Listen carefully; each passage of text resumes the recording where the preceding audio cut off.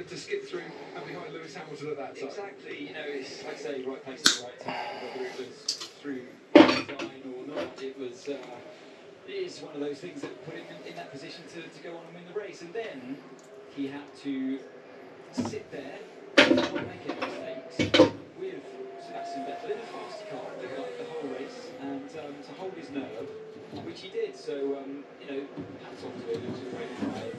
He, uh, he, he outperformed his teammate. That's the first thing you look for when you're a driver.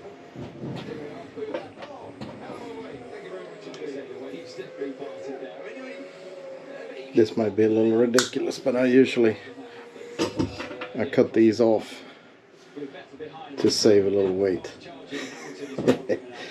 I know, won't make that much difference, but as well. And 65 laps in so I'm preparing these and then I will glue these with. I I will just use five minute epoxy for these.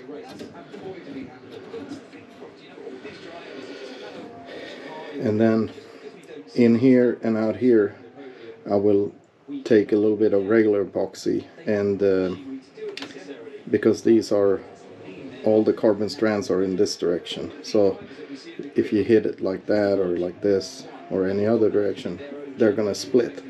So by adding a little bit of epoxy in here, it helps the shroud to stay in place and it also and I'll put some here too and it prevents these from splitting and it actually becomes really really strong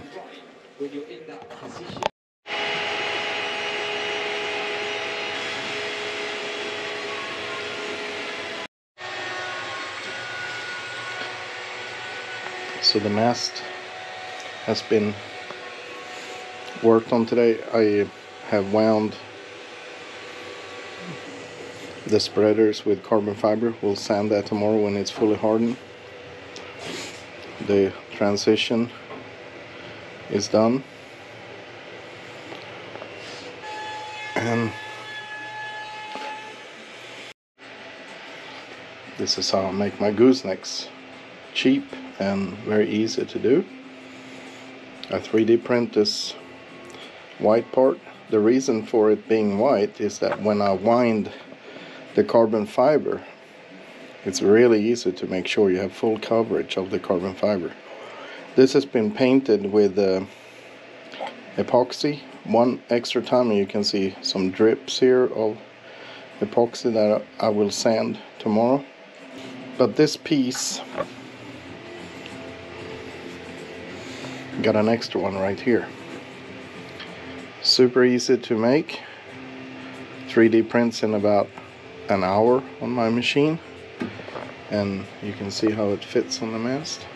And then you just use carbon fiber strands and epoxy and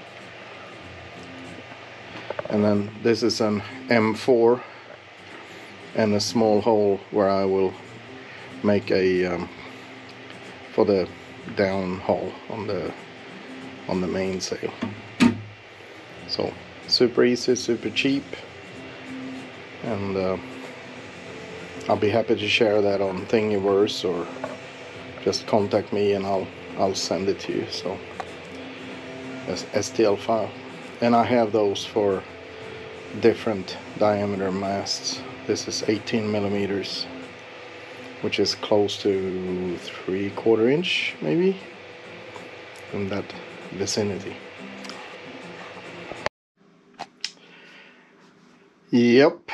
So here we are a week later and I just spilled a lot of time uh, 3D printing and fixing my 3D printer to try to do the sail track. And the sail tracks are over here. Nothing wrong with them other than when you when you take th that bunch and you feel how much weight that adds to the mast. I got a little cheap I got I don't know cheap or well I made this first mast for Kookaburra 3 around carbon just sprayed a little bit of uh, clear coat on it. And I will build this as light as I can. So tonight I installed the adjustment or the wires for the jumper spreader. And I will continue tomorrow and do the other. It's raining outside and I can do this but I, it's so much easier when you can put the boat outside and and uh, rig it outside. So I will I will do that tomorrow or Tuesday. But I spilled a lot of time plus I traveled last week so sorry for late video doing the best I can, working more than full time, and trying to have a YouTube channel. We are now 550, oops, 555 subscribers, and I want to thank everyone for subscribing. And I'm trying to do this without clickbaits or any other, you know, marketing. Is just if you like model boats and think this is cool what I do, then please join you know please subscribe. It helps. I'm sorry they're showing uh, commercials now when you try to look at my videos because i'm not getting paid just to get that out there. I'm not making any money. Um yep so i need to make a main boom and continue with the wires tomorrow night and um, it's time for supper here or dinner whatever you call it and um, thank you very much for subscribing and all your nice comments. It really makes this fun for me. So thank you very much. And uh, hopefully the boat will be rigged by next weekend. Thanks. Bye.